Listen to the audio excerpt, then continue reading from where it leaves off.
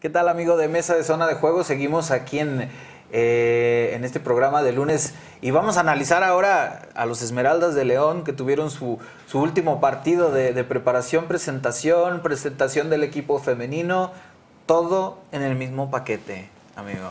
Y, ganaron, y, ganaron. Y, victoria y duelo a beneficio de, de Ezequiel Cheque Orozco. Y pues qué mejor que nuestro amigo, compañero eh, Luis Castañeda, vía telefónica, para platicarnos su punto de vista de este último partido que tuvo León. Luis, primero saludarte, ¿qué tal? ¿Cómo estás? Octavio Javier, amigos de Zona Franca, muy bien. Buen inicio de semana para todos. Oye Luis, pues precisamente, ¿qué te pareció este último partido que tuvo el equipo León? Ya, ya previo, ¿qué te pareció la, participación de los refuerzos por ahí? Eh, incluso Álvaro Ramos anotando un gol, ¿qué te pareció en términos generales? Pues ahora sí que viene lo bueno, eh, Octavio, ahora sí el último partido de pretemporada, una pretemporada que vale la pena recordar que León realizó eh, pues netamente en casa, muy cerca de justamente la infraestructura que se tiene, y es que bueno, primero estuvieron en Pachuca haciendo trabajos físicos, pruebas médicas, posteriormente se fueron a una eh, gira por el territorio estadounidense donde no se trajeron ninguna victoria, pero que les sirvió para tener fútbol y acumular minutos a lo largo de estos enfrentamientos amistosos y finalmente en la ciudad de León fue donde se terminó con esta pretemporada que Javier Torrente podrá sacar sus propias conclusiones, que la directiva también tendrá las propias y que este fin de semana me parece, desde mi óptica, pudimos ver ya un equipo de León eh, que está haciendo fútbol de verdad. Eh, estarán los primeros eh, partidos para justamente hablar de que se está duro, de que se estará poniendo a ritmo de juego de la Liga MX, pero después de lo que vimos este fin de semana, yo pienso que Javier Torrente ya no tiene excusas para poder hablar de que no conoce a su plantel. Y es que vimos contra Herediano justamente luego de esta victoria tres goles por, por dos, pues a un Javier Torrente que ya realizó modificaciones, que plantea justamente un esquema táctico más acorde a lo que en su momento habló cuando llegaba al conjunto de León, que era un 4-3-3, por momentos ya pudimos ver este parado que es eh, su estilo, por lo que él nos había contado cuando llegó al conjunto de León, y que tiene variantes y que tiene jugadores que han llegado como refuerzos y que ya han sumado minutos.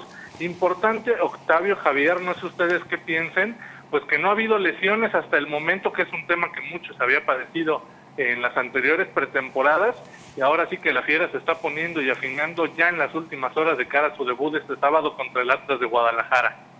Oye, que de repente Alex Mejía salió medio tocadillo, pero afortunadamente no, no se ha visto este que sea de, gravedad, ¿no? Que es de, los principales que, que se lastimaban siempre antes de, de, bueno, durante la temporada. Y Mauro, que si no mal recuerdo, las últimas dos o las dos anteriores no pudo comenzar los, los torneos, ¿no, Luis? Así es, este, un tema en el que, bueno, como bien lo mencionas, justamente cuando era el arranque del torneo, el estratega que estuviera en turno, pues no tenía las posibilidades de arrancar con el carro completo porque había lesionados, porque no habían llegado los certificados de transferencia de los jugadores, porque los refuerzos habían reportado tarde. Esas son buenas noticias, habla de al menos una mejor planeación. Los refuerzos tienen ya semanas trabajando bajo el esquema de Javier Torrente. Tú lo mencionabas al arranque de este bloque, Octavio, eh, Álvaro Ramos incluso ya anotando frente al público y el tema eh, eh, pues de que el aficionado justamente ya esté ávido de ver fútbol y que de los propios futbolistas seguramente también ya quieren tener minutos dentro de este torneo de la Liga MX que arrancará a tambor batiente y con una importante carga de trabajo porque tenemos liga y copa prácticamente durante los últimos meses semana a semana. Entonces será muy interesante ver cómo arranca el conjunto de León, pero a mí me parece que de lo más rescatable es que Javier Torrente arranque con el plantel completo, solamente por ahí la baja de Elías Hernández por la convocatoria de la selección y, tendremos entonces que ver cómo arranca esta famosa reestructura que la directiva mencionó a lo largo del final de la última eh, temporada y del arranque de esta con una nómina mucho más económica, con jugadores que tienen un perfil distinto y con la continuidad que le dan al proyecto de Javier Torrente. Oye Javier, ¿a ti qué te parece después de estas de estas temporadas tan irregulares que ha tenido León. Eh, de repente la anterior eh, no, no, no, llega a calificar, incluso la pasada califica hasta semifinales, pero sufriendo también, este, teniendo un mal arranque. ¿Cuál será desde tu punto de vista el compromiso que tiene el Club León en, eh, para esta nueva temporada y tomando en cuenta esta reestructura que está haciendo? Yo creo que hay variables positivas, a diferencia de los últimos torneos, que lo que mencionaba Luis, Luis es muy importante, el arrancar completo, el conocer al plantel al 100%, eh, tener, este, vamos, tenerlos enteros a todos los jugadores. Creo que son variables que no habían tenido en, las, en los anteriores torneos. Eh, creo que también es una parte, digamos, si se si nos forzamos a ver la luz dentro del armado de este nuevo equipo, marcábamos durante la semana que terminó este, eh, una disparidad entre el proyecto de Grupo Pachuca con Pachuca y el del Club León. Que digo, aunque se llenan la boca diciendo que son proyectos distintos, yo creo que hay una correlación. Digo, finalmente es el mismo grupo empresarial, toman decisiones, hacen apuestas. Una, en, en ocasiones apostarán al Club León, en ocasiones apostarán al Grupo Pachuca. Y finalmente con esas apuestas este, de a quién le, de a, quién te entregues más presupuesto para reforzarlo mejor, este, apostarás al uno de los dos a no este, armarlo o no sumarle jugadores de nivel este, o de renombre. Creo que León hace una apuesta con la gente que tiene y una ventaja tiene sobre todo esto, ¿no? Viendo la, la parte que decía yo, la parte de luz, que es que Javier Torronte ya conoce concretamente a cada jugador, los tiene al 100% Creo que hay una parte importante que es el que haya anotado Mauro Boselli, este, el que ya él también esté embaladón, que entre al, torneo con, nuevos bríos y ya finalmente este, alejado de cualquier otro complejo de improductividad. Creo que ya eso es la ventaja que se tiene. El no tener incorporaciones este, costosas, porque generalmente esas, este, incorporaciones costosas llegan tarde. Generalmente así es. Este, tú contratas a alguien este, de renombre y tarda en llegar, tarda en negociarse, este, llega por ahí al segundo o tercer partido es cuando ya puedes incorporarlo. En esta ocasión no. Entonces, este, digo, dentro de lo malo, dentro de que Grupo Pachuca un poco descobijó presupuestalmente a, León, creo que la ventaja es para Javier Torrente porque tiene un equipo que conoce 100%. Y esa yo creo que es la parte que, podría, de la que podría esperarse mucho más de este León, que empiece a sumar puntos desde el principio de la, de la temporada, que quizás este, tenga a lo mejor algún escollo, pero ya, ya con puntos asegurados, ya, con, ya sumando, ya punteando. Y creo que esa es la parte importante. Este, yo esperaría eso de este, de este equipo, aún sin jugadores de renombre. Ok, pues bueno, vamos a, ver un poquito este, ya los goles de, de, lleno, que también es lo que la gente quiere, quiere ver. los goles de Leo, los goles del Herediano, si los podemos poner, por favor, para verlos.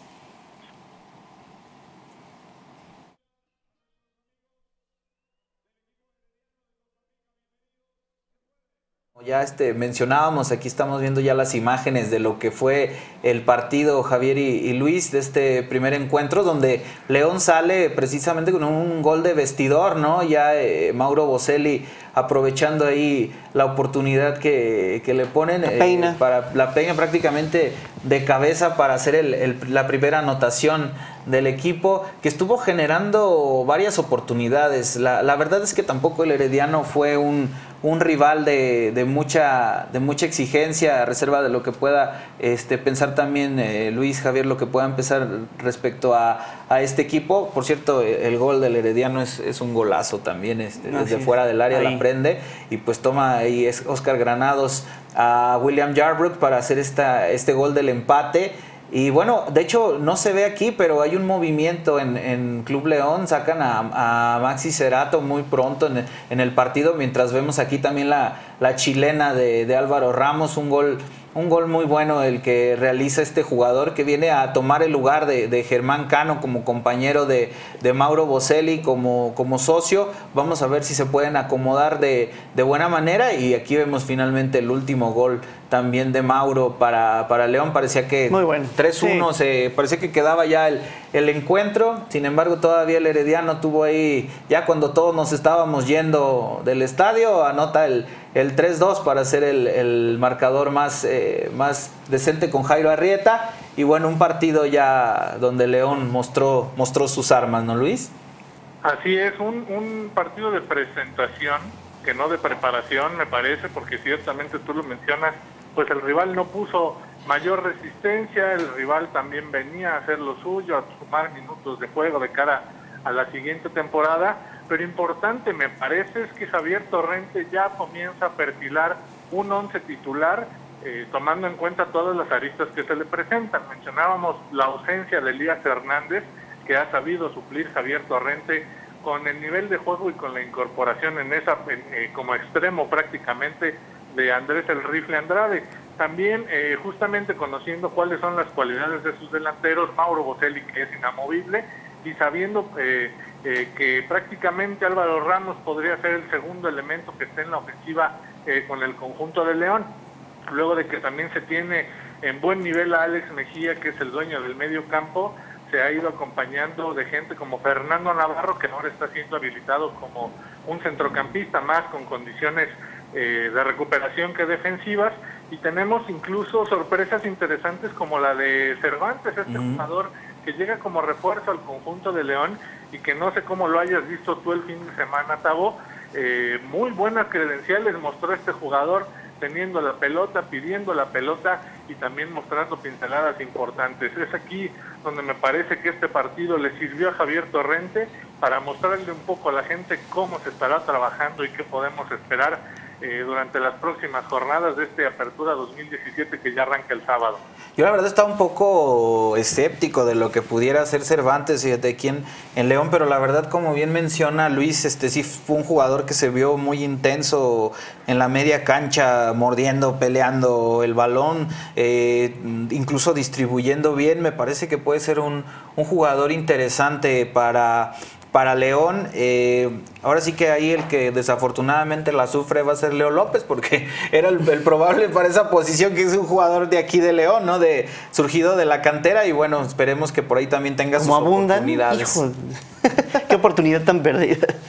Pero sí. Oye, Luis, eh, Javier, hablando precisamente de exigencia, los que tuvieron, eh, no sé si poca o mucha exigencia también este domingo fue la selección mexicana que saca un resultado que, no sé, yo, yo me imaginaba que iba a ser un marcador de béisbol, ahora que estamos hablando de béisbol, de fútbol americano, algo, algo más escandaloso. De hecho, los, los promocionales en la televisión era de, vuelve a ver a la selección, como lo antaño, que metían de seis goles para arriba. No sé qué les haya parecido, Javier, el, desempeño de la selección. Yo creo que si hay algo, si algo quedó claro en, en, en, lo que va de la Copa de Oro, es que eh, con un diferente grupo de jugadores, está ocurriendo lo mismo que con la selección, digamos, mayor, con la, sí, con la selección A, con la selección que fue a confederaciones. Está eh, prácticamente presentándose el mismo fenómeno, el mismo. Este, y yo creo que eso es lo que reconfirma la responsabilidad que tiene Juan Carlos Osorio, este, no Pompilio, su auxiliar, en este caso Juan Carlos Osorio, su responsabilidad sobre lo que ocurre en el futuro, sobre, lo que, sobre los resultados que ya este, ya en una competencia de alto nivel pueda tener la selección mexicana. Porque prácticamente sucede lo mismo, sigue realizando rotaciones, sigue haciendo modificaciones de, posición sobre jugador por jugador, este, sigue habiendo ese tipo de, vamos, de sensaciones que han causado la polémica desde que llegó a la selección. Sí, se gana y se califica con dos victorias y un empate pero bien pudieron haber sido tres victorias. La verdad es que los rivales no son como para empatar o tener los apuros que tuvo con Curazao. O sea, Curazao sí tiene dos jugadores de muy alto nivel. Yo diría que dos que sorprenden y que se que, que vamos resaltan sobre el resto de sus compañeros, pero no dejan de ser equipos, lo mismo el caso de Jamaica, no dejan de ser equipos que tienen un nivel inferior que con una, posición seria, me refiero firme, a las, al, planteamiento de los partidos, pudiste haber sacado mucho más pudiste haber desarrollado y crecido en fútbol, ser más consistente. Yo creo que al final de cuentas lo que ocurrió en esta primera fase fue eso. De pronto muestras un nivel respetable, yo no diría avasallador, pero respetable este, frente al Salvador, ganando 3 a 1, metiendo goles, generando fútbol al, al frente, pero con Jamaica y Curazao prácticamente desapareció este, esa, esa consistencia. Con El Salvador estuvo cumplidor, digamos. Cumplidor. Estuvo, ahora sí que como dices, tiene el mismo síndrome, pero con rivales más malos. ¿O no, Luis? ¿Tú qué piensas al respecto? Pues a México se le están indigestando los que en el papel parecían los pequeñitos del grupo y me parece que pasa mucho por el tema del compromiso con el que afrontas cada uno de los partidos. Curazao se asumió como víctima, Curazao sabía que tenía mucho que ganar y poco que perder y le mostró por momentos una gran calidad y una gran valía de frente a este conjunto que Juan Carlos Osorio dirige desde donde quiera que esté, porque ya no sabemos si de realidad... Vía WhatsApp dirige Luis. Sí, si le mete mano no le mete mano al equipo. Y bueno, Curazao se asumió como tal. En su momento Jamaica se asumió también como víctima y plantearon un esquema muy serio de cara al conjunto mexicano. Juan Carlos Osorio no le puede poner seriedad a un eh, planteamiento, pues porque son 10 jugadores distintos a lo que venías trabajando respecto a los últimos partidos de la misma competición.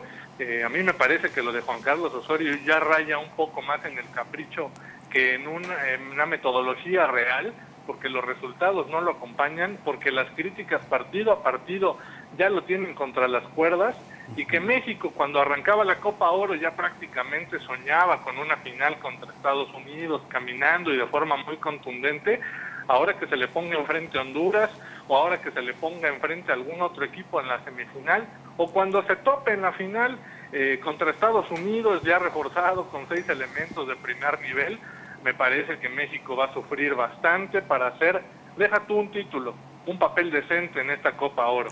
Oye, como decíamos cuando hacíamos los análisis de, de la Copa Confederaciones, lo peor que le podría pasar a México, y no sé si voy a decir una tontería, si es así, me sapeas, Javier, o, y Luis me mandas un sape virtual, pero me parece que si México, lo peor que le podría pasar a México sería ganar esta Copa de Oro, porque realmente estaría como en, un, en el mismo espejismo que está viviendo el fútbol mexicano, del gigante de CONCACAF, le ganamos a Estados Unidos, que es nuestro rival acérrimo, eh, ganamos a, a Honduras, con Honduras que la verdad no está en su, en su mejor nivel. Yo pienso que lo peor que puede pasar realmente es que ganemos la Copa de Oro y, no quiero sonar este malinchista, pero a mí me parece así. No sé ustedes qué piensen. Luis, ¿tú qué piensas?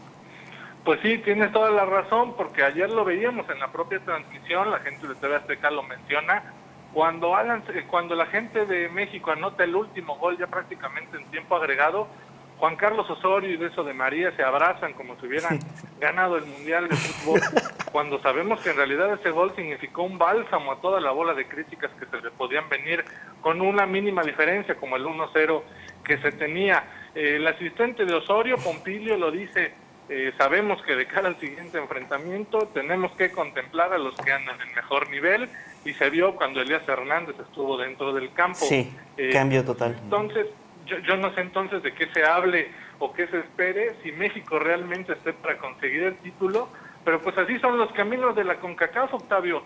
En una de esas México se topa con un golpe de suerte y estamos viendo un título más a la selección que seguirá significando pues un bálsamo para toda la bola de directivos que pues sabemos no están haciendo también las cosas. Y para la gente también un poco resultadista, ¿no? De, la que está...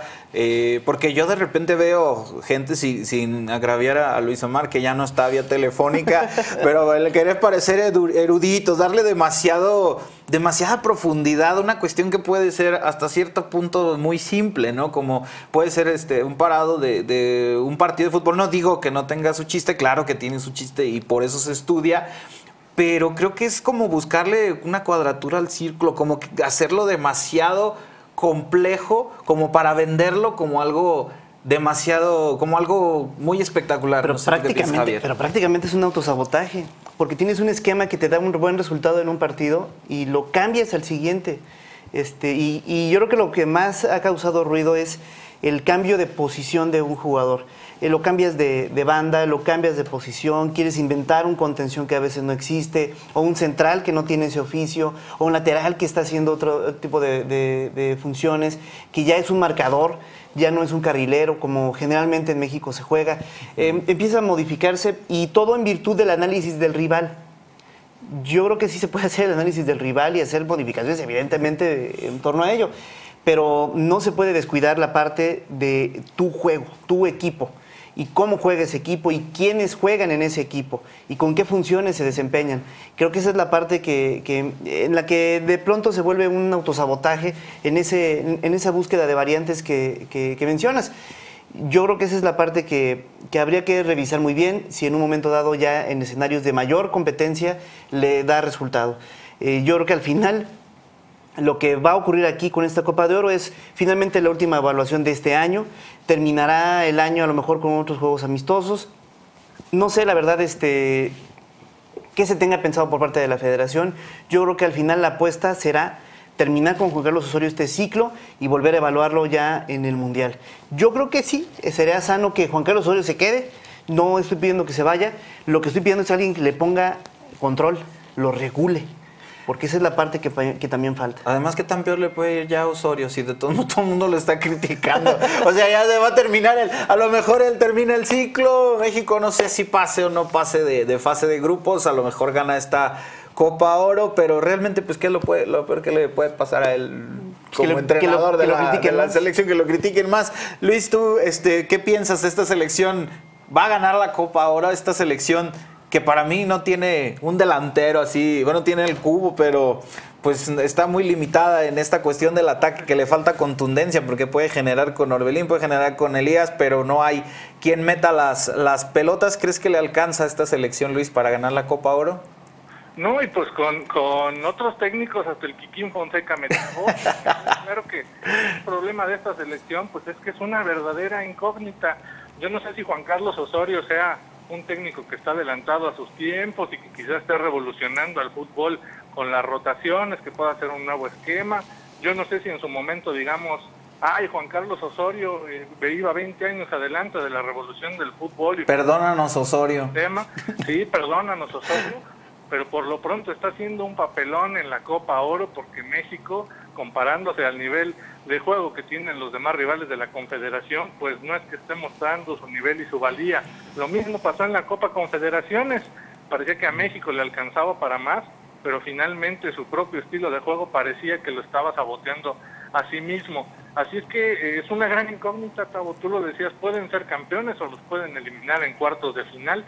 Es una gran incógnita lo que estamos viendo con la selección y parece que este ciclo mundialista puede ser una auténtica incógnita, porque en la eliminatoria vas caminando y vas muy tranquilo, pero ya vimos que cuando se trata de meterle exigencia y cuando se trata de comprometer a la selección, le sigue faltando algo a Juan Carlos Osorio. Vamos a ver y por lo pronto el jueves contra Honduras hablamos de un mejor escenario donde ya se pongan más serios, porque parece que fueron a la Copa Oro pues a seguir probando y a seguir eh, improvisando en el tema y en el esquema táctico. Ojalá, ojalá que las cosas mejoren para la selección, porque el Mundial está a la vuelta de la esquina. Yo también consideraría que cortar el proceso de Juan Carlos Osorio a estas alturas ya sería una irresponsabilidad de parte de los dirigentes del fútbol mexicano. Oye, está tan adelantado a su época que ni los jugadores lo entienden. Es el problema que está teniendo Juan Carlos Osorio, me parece. Ya vamos a hacer aquí también sistema de rotaciones, ya lo habíamos platicado. Vamos a poner a, Javier en las cámaras, a Luis, este, lo vamos a poner. ¿Dónde te ponemos, Luis? No, pues a mí de operador. no, claro que no, porque nuestros amigos aquí de producción hacen un muy buen trabajo. Saludo para ellos. Ahí hay que dejarlos. El güero, el chino, todos ellos. Ellos son los profesionales, no los vamos a, a rotar. Pero bueno, por nuestra parte ya este, sería todo en cuanto a lo, al tema ya León Selección, Bravos. Luis, agradecerte por estar con nosotros el día de hoy, como siempre. No, hombre, es un gusto y ojalá no contemplen lo de las rotaciones, porque si algo funciona donde está, pues no le muevas, ojalá que todos eh, los que están pensando, como tú lo decías Luis Omar, en que Juan Carlos Osorio puede estar encontrándole la cuadratura del círculo, pues se pongan a ver que la realidad es muy distinta, pero por lo pronto, pues acá será un gusto escucharnos la próxima semana. Ok, Javier, muchísimas gracias por estar con nosotros. Gracias. Gracias, pero sobre todo a toda la gente que nos vio aquí en esta mesa de zona de juegos. Nos vemos mañana con la sección y el próximo lunes este, con más temas, entrevistas y ya León en, temporada para toda la gente que, es amante de, Vamos fútbol. Y bravos, esperemos con, con victorias. Digo, Ojalá, ¿verdad? Pues muchísimas gracias eh, a todos y hasta pronto.